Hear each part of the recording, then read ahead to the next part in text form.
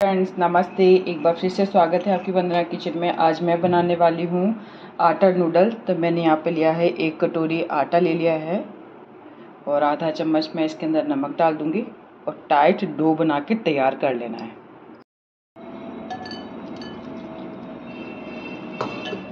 मैंने आटा बना के तैयार कर लिया है। बिल्कुल सख्त गूंदा है मैंने ये आटा, बहुत टाइट ताकि इसकी जो हम नूडल्स काटेंगे आपस में वो चिपके ना, इसी वजह से थोड़ा सा मैंने इसको टाइट गूंदा है। अब इसके दो पोर्शन कर लेंगे हम।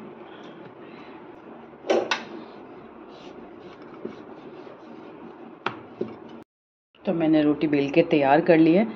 इसको गोल नहीं बेलना है और इसको आप स्क्वायर शेप में बेल सकते हैं।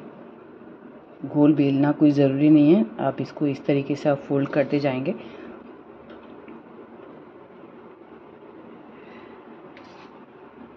थोड़ा सा सूखा आटा लगा देंगे, ताकि आपस में चिपके ना।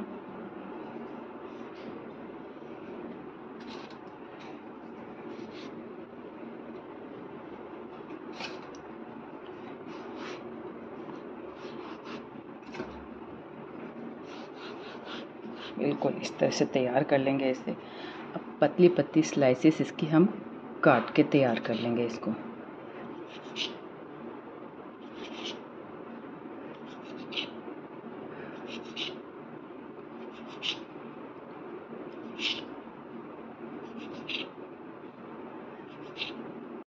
देखो फ्रेंड सारी स्लाइसेस कट कट गई हैं और अब इसको कर लेते हैं हम पानी में बॉईल पानी भी हमारा गर्म हो चुका है।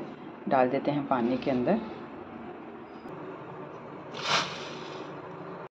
तो मैं डाल दूँगी कढ़ाई में दो चम्मच तेल, बारीक चॉप प्याज।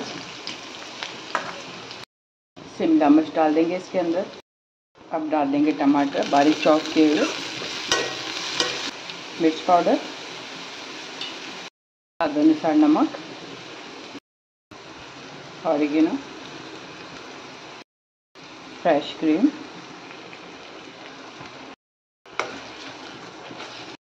थोड़ा सा डाल देंगे इसके अंदर पास्ता मसाला सबको करते हैं अच्छे से मिक्स मसाला भी तैयार हो गया पास्ता भी उबल के तैयार हो गया है अब मैं डाल दूँगी इसके अंदर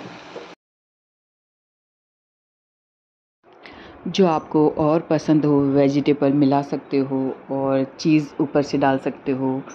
मैंने सिंपल तरीके से आपको बना बना कर बताया है। आप ऐसे भी बना सकते हो, आप अपने पसंद के अनुसार और भी वेजिटेबल मिला सकते हो। चीज़ डाल दीजिए, फ्रेश फ्रेश मलाई डाल दीजिए। और भी बहुत अच्छा टेस्ट आएगा इसके अंदर। मैगी मसाला डाल दीजिए। मैंने बिल्कुल सिंपल तरीके से बनाया है, लेकिन ये भी बहुत अच्छा बनकर तैयार हुआ है। खाने में भी टेस्टी है। एक बार आप इसे ज़रूर ट्राई कीजिए। बहुत अच्छा बनकर तैयार होता है ये। आपको अगर मेरा ये वीडियो पसंद आया है तो प्लीज़ इसे लाइक करें सब्सक्राइब करें। थैंक यू और एक बार आप ज़रूर इसे ट्राई कीजिए। Thank you